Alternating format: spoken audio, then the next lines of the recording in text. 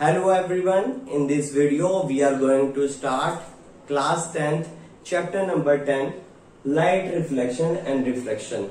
Today we will discuss some of the basic topic of this chapter. What is light? Light is the energy that is coming from any source which help us to see various objects surrounding us. So what will be the sources of light? Yes, the LEDs and the bulbs that we are seeing in our daily life. Those are the example of sources of light. And what will be the natural source of light?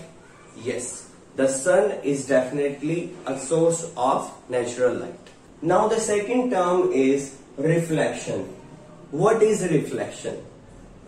When a light coming from any source falling on any of the surface, there are two conditions whether it is absorbed by the surface completely or it bounce back or it return back in the different direction.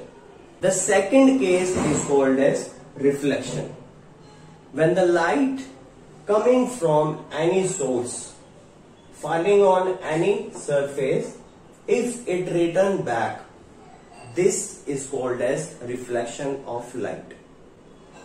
So this is the diagram of reflection of light.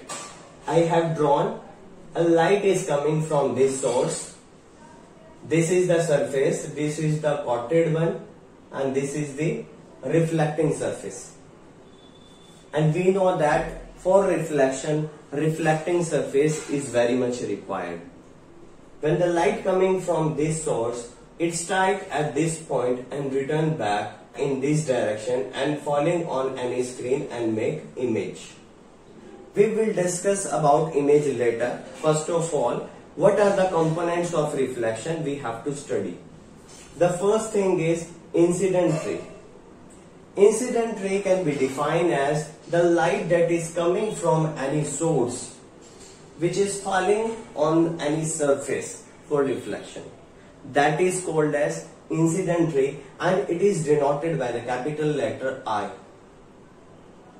Now after striking to the surface, when the light return back, it bounce back. That ray is called as reflected ray and it is denoted by capital letter R. Now you have seen that there is a perpendicular to the surface which is called as normal. Next is angle I. Angle I is also called as angle of incident. This is the angle between the incident ray and the normal which is perpendicular to the surface. This angle is denoted by angle I. I should be small. Similarly, angle R is the angle of reflection which is the angle between the reflected ray and the normal and angle I is equal to angle R. Angle of incident is equal to the angle of reflection. They made same angle. Now there is one more thing that is the point of incident. This is the point at which incident ray, reflected ray and the normal they meet at the same point. This is called as point of incident. Now let's see what is the difference between regular and irregular reflection. In the diagram of regular reflection, we are saying that there is a regular coated surface which is no use here. But the regular smooth and reflecting surface is very much required for the regular reflection. Suppose if the light coming from any source, rays coming towards the surface, when it fall on any surface, it return back and fall on the screen. In this case, we have seen that angle I and the angle R are similar in all the cases. Incident rays are also parallel and reflected rays are also parallel.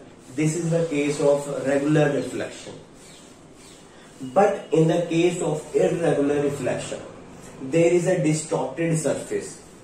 This is the distorted coated surface and this is the distorted reflecting surface. If parallel rays coming from any source falling on the surface which is distorted and rough, they will not give us parallel reflected rays. because the surface is very rough they will deviate into different direction and they will not make a clear image in this case angle I and angle R you are saying it is different in all the rays the value of angle I and R for this ray will be greater and for other it is smaller.